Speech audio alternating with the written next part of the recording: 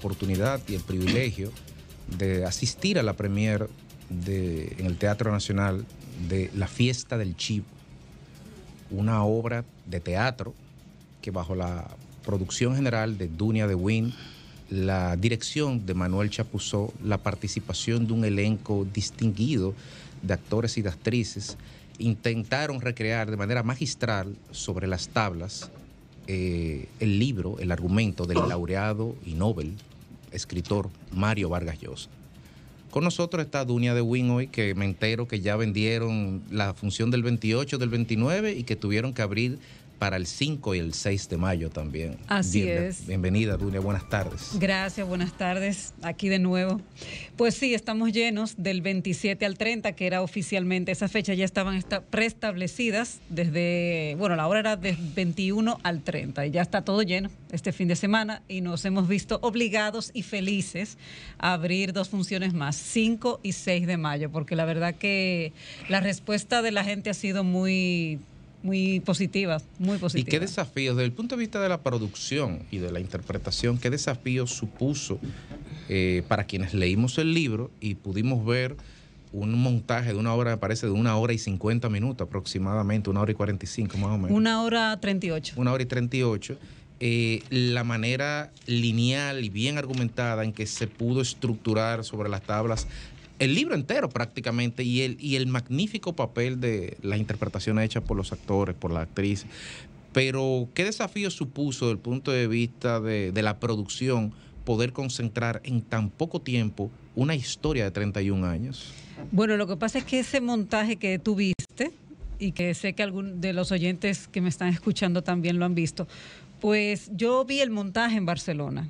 Eh, ya lo habían hecho en Madrid y en Barcelona. Yo fui a verlo el año pasado, eh, me encantó, aunque pienso, y no porque sea nuestro montaje, pero el de aquí es muchísimo mejor, porque es una historia nuestra y está interpretada por actores nuestros y ya estaba así, hora y 38 duraba. Es una adaptación que hizo el guionista español Natalio Grueso y de verdad que está muy sintetizado. ¿Es, de la obra de Vargas Llosa? Sí, de la obra sobre la obra de Vargas Llosa. Es sobre la novela eh, La fiesta del chivo de Vargas Llosa, que hace 23 años que la publicó. Sí, que recibió muchas críticas en muchos aspectos de carácter histórico. Sí. Pero yo me quiero... Bueno, eh, porque es una novela con tintes de ficción, eso hay que entenderlo y aceptarlo. Sí. es una obra histórica, es una novela. Exacto, exacto. Claro, narrada bajo la historia nuestra, pero con, con, con, licencias de ficción como, tiene cualquier pero, pero, pero, pero afecta en algún grado una de las cosas que sé que mucha, creo yo, hay una gran parte de la población interpreta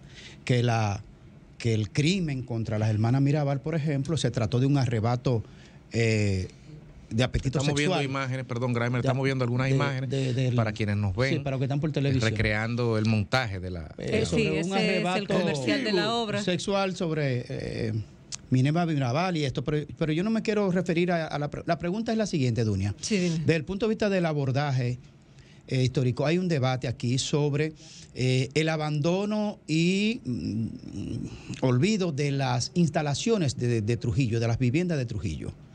Te quiero hacer una pregunta en esa dirección. Eh, otros países lo han hecho y es no volver una ruina claro. y desaparecer el pasado por duro que sea.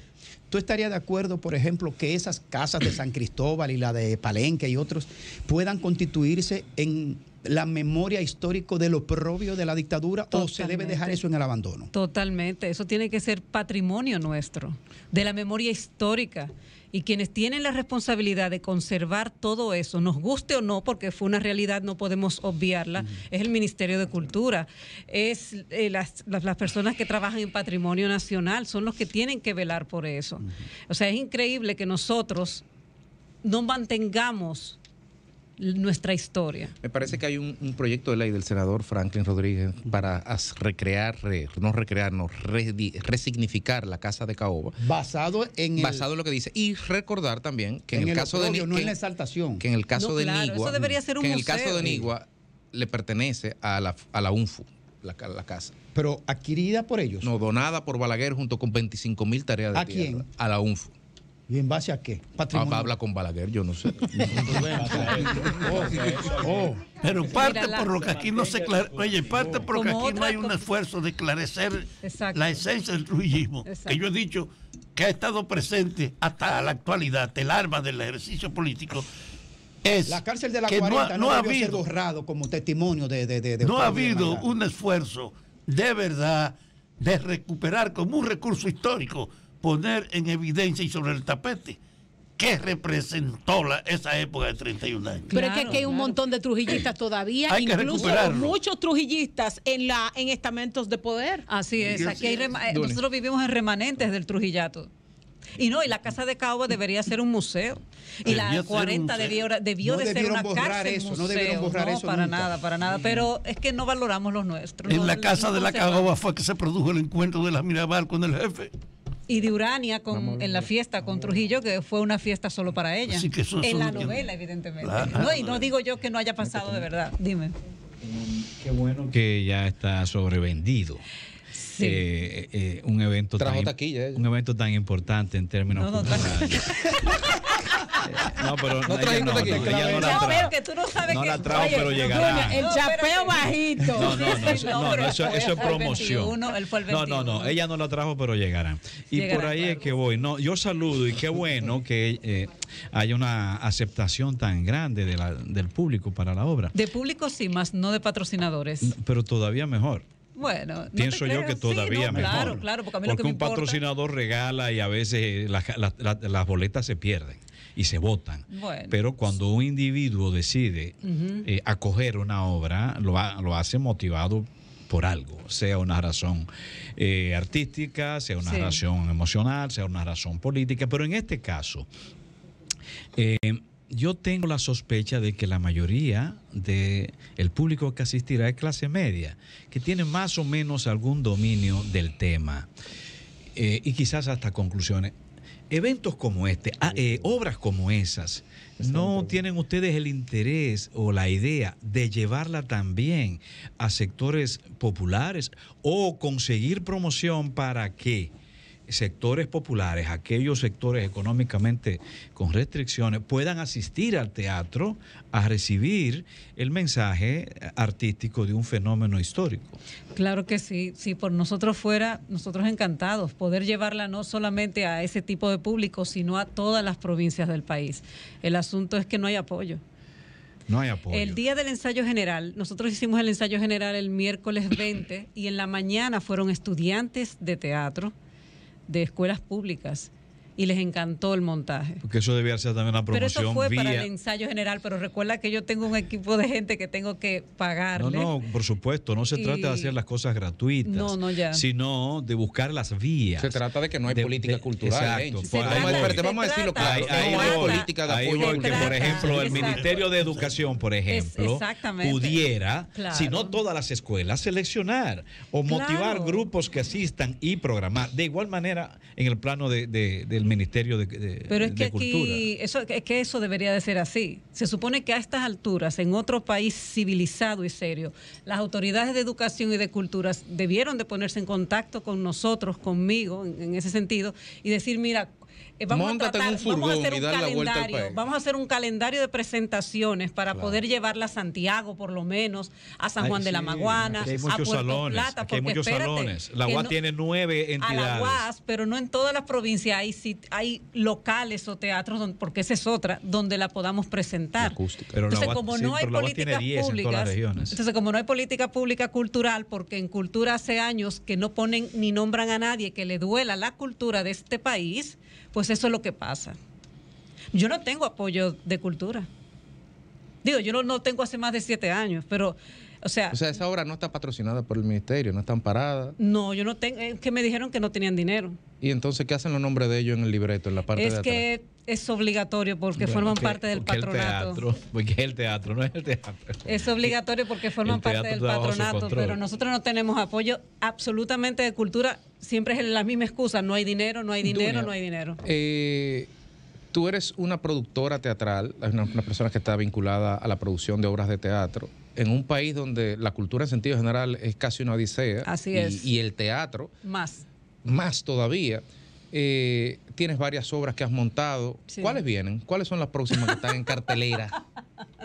Mira, hay que sacarle el jugo, como dicen coloquialmente. Sí, pero sí, sí, sí. Pero ¿cuál está en el horizonte? Hay, hay una que está en el ah, horizonte, hay una que está en el horizonte, pero es también será complicada porque cuando ya tú te pasas de tres actores, ya el asunto del presupuesto se te complica, que es lo que me ha pasado con la fiesta. Yo de realmente, si no fuera por el público, olvídate que no salimos a flote. Sí, y ahora que tú dices eso, por ejemplo, las últimas obras de teatro que yo he visto en lo que va de año, todas son monólogos.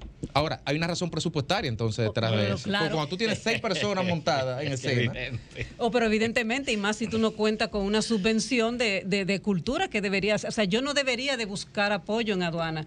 yo no debería de buscar ¿Quiénes son los patrocinadores? Que y las obras que yo he visto, las últimas, son así con tres y dos personas nada más. Claro, claro. La, mía del año pasado fue con dos actrices, pero tenía muchos detalles. No sé si viniste. Sí, sí. Ah, sí, sí, es verdad. Y eran dos, pero por asunto de presupuesto. Y bueno, eh, gracias al banco. Dime. Patrocinador. Sí, bueno, al Banco Popular, que siempre me apoya, al Ban Reservas, a don Eduardo Sanz Lobatón, que siempre apoya la cultura. Ya. Ay, y el Hotel Catalonia, por supuesto. El Hotel Catalonia. ¿Y el Ministerio de Cultura. Bax Ferretería. Y no, el Ministerio de Cultura no nos apoya. Pero, es, una, es una vergüenza que el Ministerio no apoye las obras de teatro de los productores independientes que le damos vida a las salas este públicas del Estado yo quiero hacerle un llamado a las autoridades de las provincias donde esto tiene un vínculo muy directo. Por ejemplo, yo quiero ver la gobernación y los representantes en la Cámara de Salcedo, llevando a Salcedo una historia como esta, cuando Salcedo se ha convertido en la matriz de la referencia del sacrificio antitrujillista. Así es. Así puede estar en La Vega, en Puerto Plata. Si ha habido una actitud de indiferencia de los mecanismos nacionales de cultura y de educación porque hay un déficit que no han tenido integrada la cultura entre sus necesidades. No, porque están ocupados pagando nóminas. Claro, es para otra cosa. Es solamente dinero para las nóminas y es absurdo porque del ese presupuesto que tiene cultura, que cada día, que cada, o sea, que cada año, y soy consciente, se reduce, ellos pueden sacar una partida de 800 mil pesos y tú le das 50 mil pesos a cada productor independiente, que eso es una ayuda, eso me ayuda a mí a pagar la sala del teatro, pero no piensan, no generan. Entonces, ninguna autoridad ha ido a ver la obra de cultura. Hay que cambiar, hay que ¿eh? cambiar esa visión. Bueno, pero eso siempre se dice. Sí, de, acroarte, sí. Eso siempre se dice y nunca. desde chiquita. ahora, estamos en la política por primera vez de cambio institucionales. Pero de cambio de eslogan, ¿verdad? Con Fafa, de cambio de eslogan. De, cambio de eslogan. De que no es, un cambio. No es verdad que de eslogan, porque tú nunca habías visto el sometimiento de un gobierno que pasa. Ah, bueno, y eso es otra cosa. Ya, eso es otra cosa. Gracias, Bueno, espérame. 5 y 6 de mayo. Pero yo iba a hacer eso. Ah, pero adelante. Bueno, 5 y 6 de mayo ya están abiertas estas dos nuevas funciones. Compren su boleta ya, señores, porque ya se están vendiendo. ¿Dónde se compra la boleta? A través de webatickets.com. Usted desde su casa, desde su celular, desde su oficina lo puede hacer. O si quiere eh, pasar trabajo, la Máximo Gómez, calor y todo eso, vaya a boletería del Teatro Nacional. Gracias, Dunia Win, por estar aquí, por hablarnos de la fiesta del Chivo. Y recordarles a las, a las quienes nos ven, quienes nos escuchan, que hay una función extra abierta el 5 y 6 de mayo. En lo personal y particular, se las recomiendo. Sol 106.5, con la mayor variedad de contenido, información, entretenimiento e interacción en una sola estación. Cobertura total, disponible para ti en la radio y en las plataformas digitales. Somos Sol 106.5, la más interactiva.